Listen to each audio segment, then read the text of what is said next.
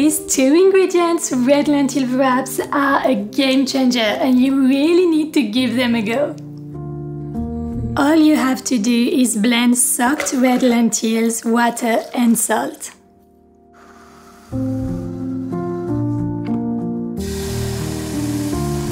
Cook it for a couple of minutes and you have a delicious high protein wrap that costs less than 20 cents to make. I'm always looking for easy lunch ideas and these wraps with a bit of hummus, roasted veggies and greens are a new favorite.